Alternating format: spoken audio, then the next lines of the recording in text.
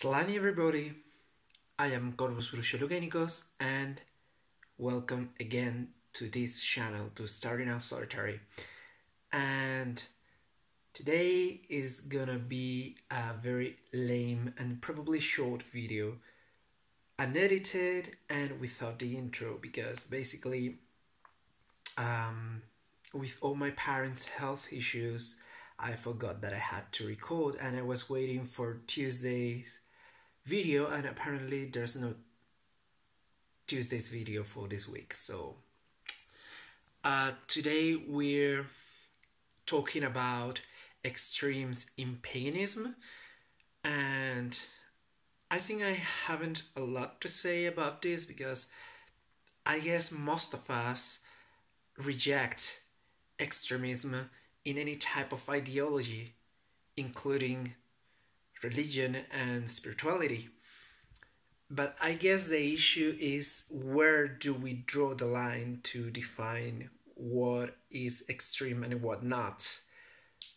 Because, for example, many people, no, sorry, not many people, some people believe that, for example, ritual sacrifice of animals is extremism, and to me, it is an extremism as long as I claim to follow the religion of people that tended to sacrifice animals cyclically. So, to me, it cannot be extremist. Also, I guess there's something that I don't like either, and is the belief that any extreme. Uh, idea within paganism or within any religion is being a bad something, a bad Christian, a bad pagan. Like, for example, the belief that uh, racist pagans are bad pagans. And I think that we have to get rid of those ideas. All religions, including us, um, all of them has extremism and extreme ideas and they're part of our community even if we reject them. We reject them we state we don't have to do anything with them and that's fine but it doesn't mean they're not pagan. It doesn't mean they're not christians. It doesn't mean they're not muslims. They're all any of that any of those they're just extreme versions of those. But being extreme versions of those doesn't mean that they aren't part of those. They're maybe not mainstream, fortunately, but they're part of those religions.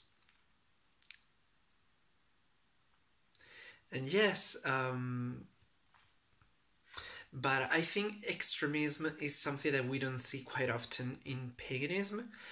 When we see it, we mostly see it in the form of uh, religious fundamentalism.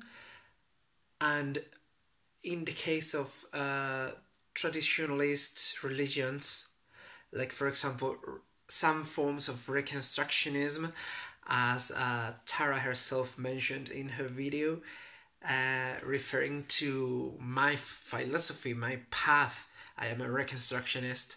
Um, some of them can be pretty racist under the idea that if you're pagan or if you're a reconstructionist you have to stick to your local area or your country's culture or something like that which i consider i consider completely inaccurate and some of them even include uh, the race. Like you have to stick to a religion that was practiced, practi- practiced, and this is unedited.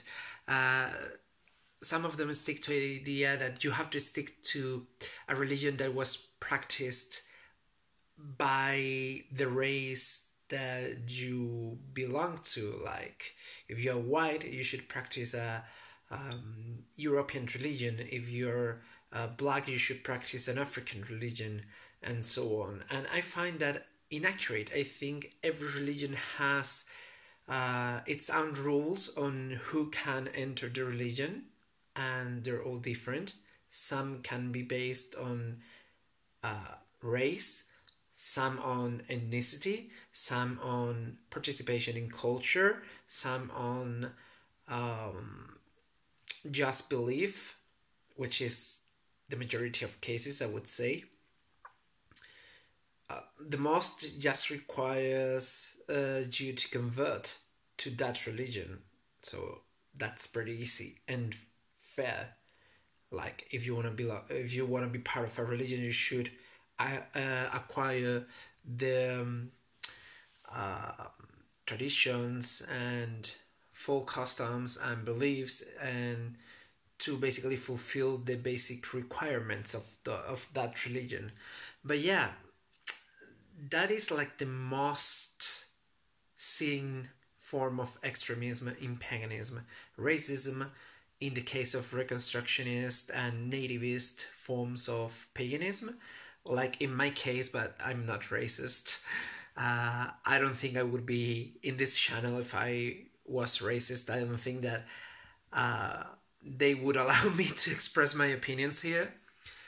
Uh, it's true that I favor my culture and my ethnicity, but it's not for racist reasons. I don't reject people who aren't white to belong to my religion. I just think that it makes more sense to me to choose this option from all the options that there are because I have no other reason or no better reason to belong to a foreign uh, religion or to a religion whose culture is completely alien to me because I don't participate of it.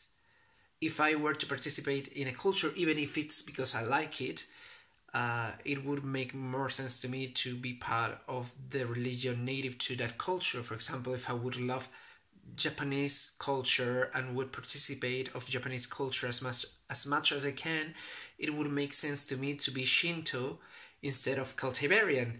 But it's not the case. So it's not a racist thing. Uh, I don't think we should reject people in our religions on the basis of skin color. But I think we should have requirements and people should fulfill and do and follow those uh, leads and requirements that they are given. But yeah, um, extremes. Um, basically, it's something nasty that we don't want to see in our communities and we try to get rid of, but they're like cockroaches they reproduce and survive. But well, um, luckily enough, it's not something very widespread in modern paganism, and I hope it keeps that way. So, yeah, we only have to deal with fucking racists and fundamentalists. Not the worst thing that we uh, would have to deal. Uh, there are other religions who have to deal with different things, such as terrorism. So, I guess we're kind of lucky to have such a small uh, percentage of what I find like stupid people because I think extreme people or extremism um, is stupid. I said extreme people, but I listen to extreme metal music, so that wouldn't be fair. I'm extreme uh, music wise. but yeah, basically that. Um, as you can see, I'm in my uh, pajama and I'm on my bed, so yeah, pretty lame video. But yeah, that's all I have to say about uh, extremism in paganism. So I'm gonna upload this right now and tell me what you think in the comments down below um, about extreme ideologies within paganism and the pagan community, and also the witchcraft community. Yeah, that's all for now. We'll see each other next week. I hope with a better video because hopefully my parents will be well at last and I'm going to bed right now. well, I'm actually in bed already. I'm going to sleep right now. So, guys, thanks for watching. Bye.